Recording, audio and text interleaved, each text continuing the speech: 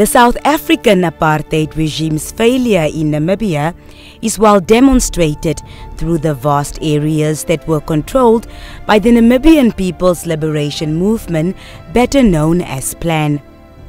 The PLAN fighters, part of SWAPO's military wing, liberated these areas.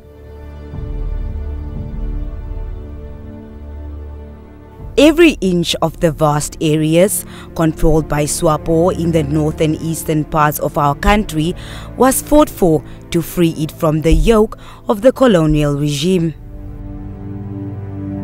The former South African Army had total support from NATO states, and it is for this reason that the PLAN fighters' success came as a hard blow to all imperialist powers in southern Africa.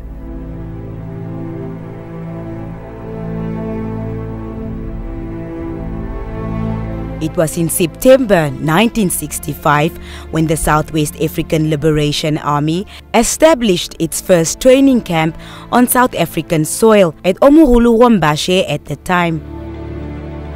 SWALA numbered only about 250 personnel, most of whom were still undergoing training at Kongwa. The insurgents at Omugulugwombashe succeeded in recruiting only about 30 locals before the location of their camp was attacked by the South African forces, demolishing it.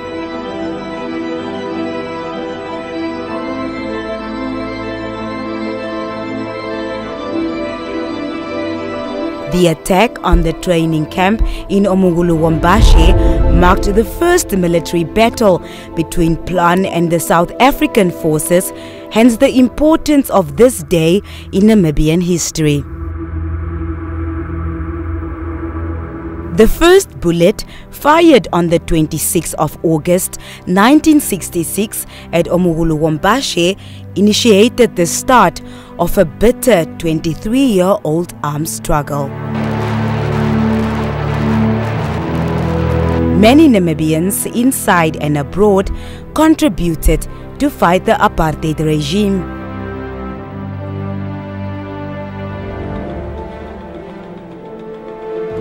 The former South African Army was however more equipped in military warfare sponsored by some Western countries.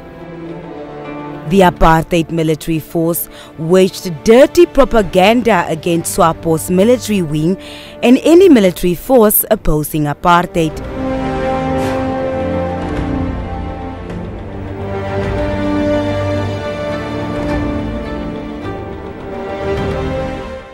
The war waged on for so long that to some, the picture of independence started to become dim and dull. The attack on Cassinga was the enemy's final attempt to derail independence for the Namibian people.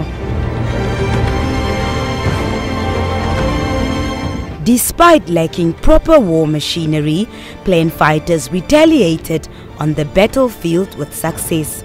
However, it's very important to remember that before the total liberation of Namibia was reached, many battles were fought and many sacrifices were made. Thank you to the heroic people of Namibia and the solidarity with all peace-loving people of the world that enabled Namibia to achieve its independence. Namibians continue to pay homage to the selfless contributions of these heroes and heroines who spearheaded the liberation struggle and gave their lives for our freedom.